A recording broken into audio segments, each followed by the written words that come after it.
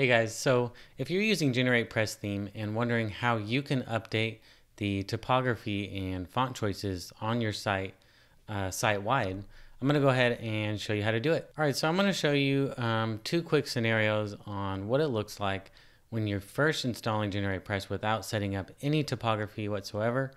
Um, and then what it might look like if you've already set up some of those choices and just want to make some changes. So um, first, we'll look at a demo site I have set up that has everything default in it basically. Um, I've got no typography set up. So we're going to jump into the customizer and go to typography. And here is the GeneratePress um, font manager and typography manager. So this is where you'll be able to really control site wide um, and on different elements uh, what fonts you want to use um, font sizes, font weights, and so on and so forth. So what you're first going to do is say add font.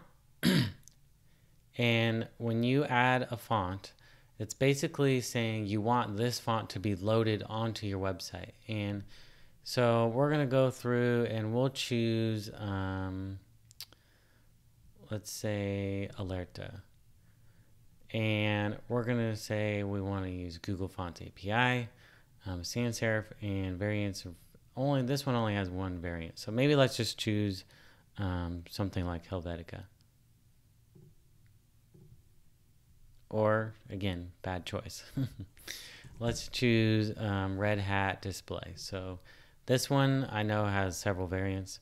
Um, it's a Google font. And so what you see here is all the different fonts and variants um, that Red Hat display comes with now, in here, you can eliminate which ones you think you will not use, and that'll actually save some loading time on your website. Um, so we can remove 300 because that's too light. Um, we can remove um, 800 forward. So we're just going to use like 500, 600, 700 and regular. All right, so we'll say close. And that's going to be our headline font. And then we're going to go ahead and choose a separate one. We'll say um, Roboto, and this is what we're going to use for our body font. Now, since our body font, we're not going to choose anything too light, and we're actually not even going to choose anything beyond regular. So we're going to delete all the other variants there and just keep regular and italic. Google Font Display, so because we are utilizing Google Fonts, uh, it's always recommended to use Swap um, just to help, again, with performance and loading times on your website. So uh, what you're going to do next is jump into the topography manager. So again, because this is our demo utilizing um, GeneratePress kind of fresh out of the box, um, we want to, we had to set this up uh, from scratch. So um, first is you're going to say add topography. And what you're first going to do is open this up and choose what you're wanting to set up, right? So first we'll say we want to edit the H1s and we want the font family to be Red Hat Display. And font weight, we're going to say 600. We'll say font style, um, default, decoration, and then of course you can come in here and kind of tweak um, all of your settings. So I'll jump in here. We can see this is an H1 on a blog post. Um, so maybe 54 is too large, so we can go to 48. Um, line height, we could do 1.2 is fine. Um, and bottom margin. So again, we'll just kind of run through this really quickly. Um, next, we can add then um, our body font, and we'll say font family. We want to be Roboto, and we want font weight to be normal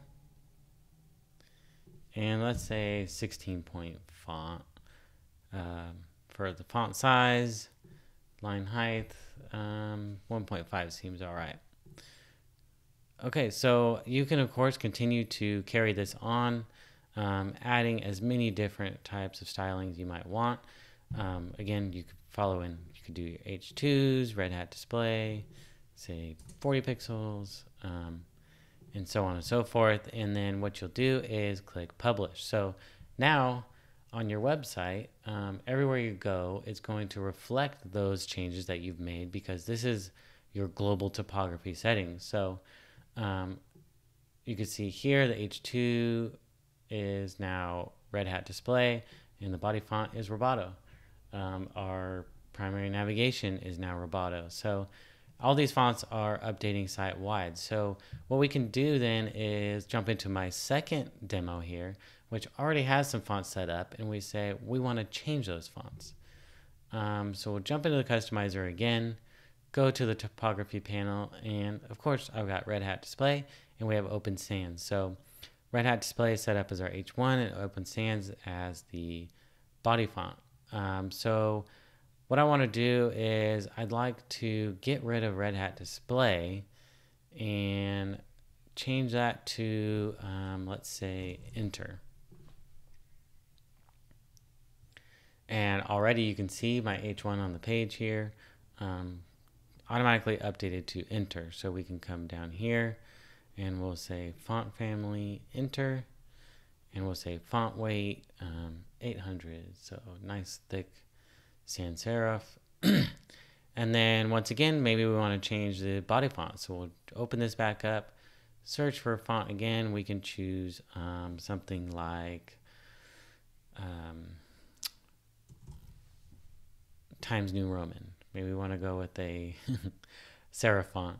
So we'll select that and in the body, oops, excuse me, we'll choose Times New Roman.